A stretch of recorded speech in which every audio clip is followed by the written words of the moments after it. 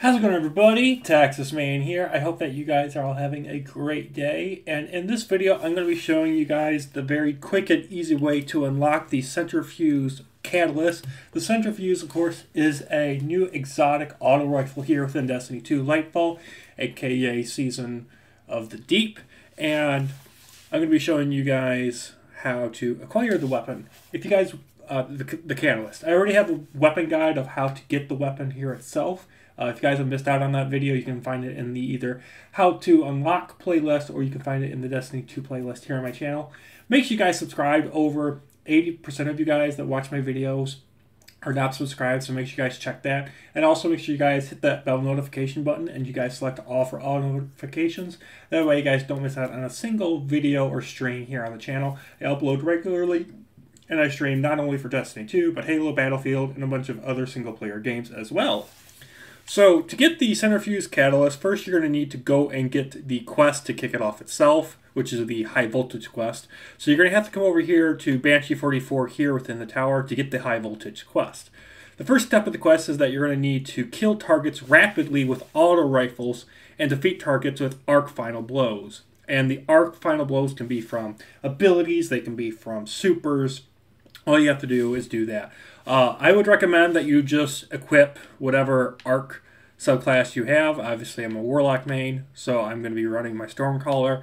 And then you don't have to necessarily run the Centrifuse weapon itself. You can use other weapons um, that deal arc damage itself.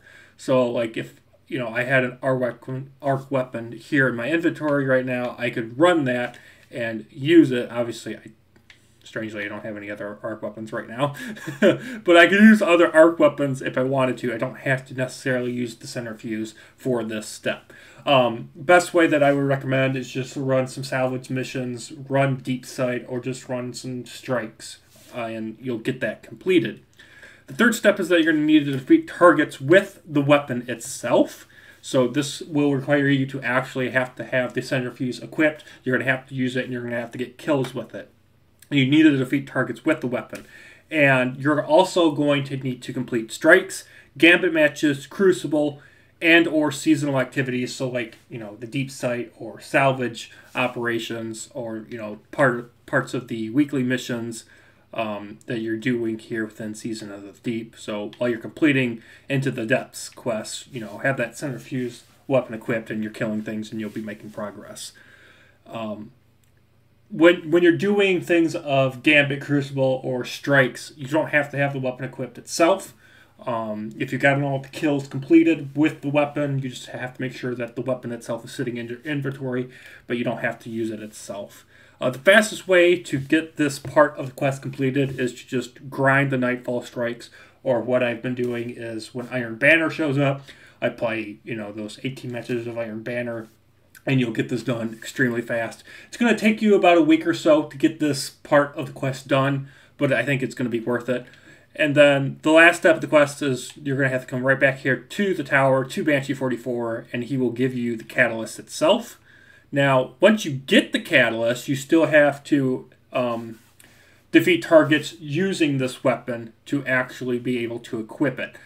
But that's how you unlock the catalyst, and then of course you have to get a bunch of kills with the weapon here itself to be able to equip it. And the catalyst here for the centrifuse is while it's while the weapon itself is amplified, the weapon gradually gains overcharge. So this catalyst goes um, hand in hand with its the weapon's intrinsic trait of overcharged capacitor.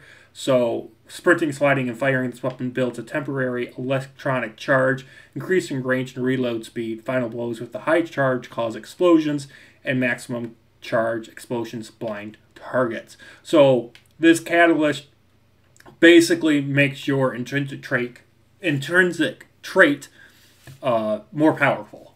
So uh, if you're not a fan of auto rifles, you're not a fan of this weapon itself in general, then this catalyst is not going to help you out much. Um, this weapon, I think, is a decent auto rifle, but as far as it being an exotic, I really don't like enjoy running it constantly. If I had to use an auto rifle, um, I would rather honestly use the Quicksilver Storm, just because it is a strand weapon and you get that um, strand abilities, you get the grenade launcher, you get you know micro rockets. I think that's a better auto rifle in my opinion compared to here for the centrifuse. So my my opinion. So all right, I hope this video was helpful for you guys. Let me know in the comment section down below. Have a great day. Look forward to more content coming out soon. Bye guys.